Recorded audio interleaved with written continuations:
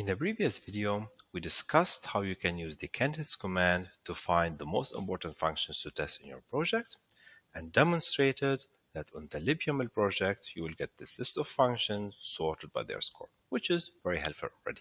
But if you already have some fuzz tests for your project, ideally, when creating new fuzz tests, you would like to focus on targeting those functions that are not yet well covered by existing tests. And this is something you can now do with CI Fuzz by taking into consideration the code coverage reached by existing tests.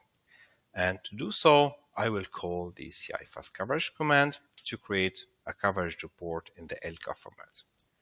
And if I now take this coverage report as an input to the candidates command, CI Fuzz will prioritize less covered functions. So let's execute this function and have a look at the new list.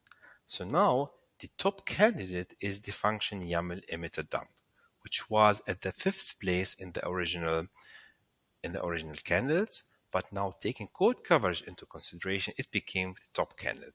And here we can see that it has the most uh, amount of uncovered lines. So this is how you can use CI Fuzz to focus your testing efforts uh, on addressing the blind spots on your project.